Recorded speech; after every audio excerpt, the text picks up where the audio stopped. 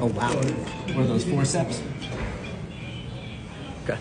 Now, what this is is a plunger, and the plunger holds the diamonds together. Helps, helps you look through the stone. So what you do is you take the loupe, you look inside, and you look to see that the stone's plot is the same as the plot that's on the certificate right here. Mm-hmm. Every diamond has a serial number that's attached to it, mm-hmm. and every diamond has a plot. No two diamonds are alike.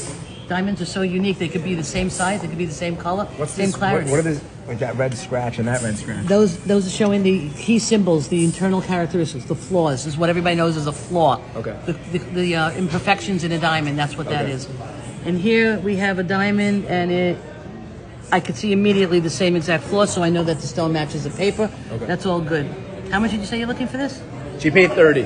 I, I don't have an exact number in mind. Uh, she just wanted me to shop shopping around. I'm not going to go shopping. I just come to you and see what you say. She paid thirty. Let me see what this goes for. We'll look it up. It goes.